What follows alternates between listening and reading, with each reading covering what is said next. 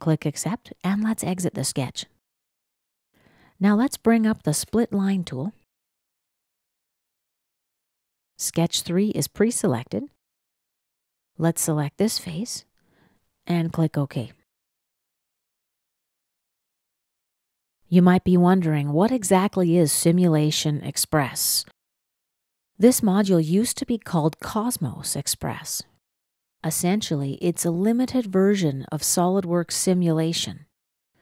Simulation, the simulation module, used to be called Cosmos Works. You might remember those days.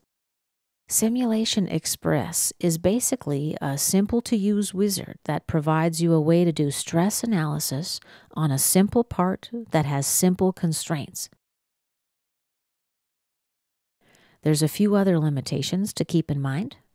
Number one, the part has to be comprised of a single material. Two, this material has to be a linear material, such as, for example, steel.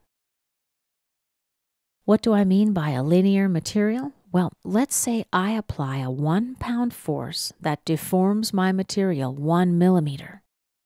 With a linear material, a two pound force should deform two millimeters. Non-linear materials don't work in this way. What are some examples of non-linear materials? Let's say rubber or plastic. On the other end of the spectrum are the brittle materials, and these are materials that break without yielding, such as glass, ceramic. So these materials are rigid and they won't work in Simulation Xpress. They're not linear materials.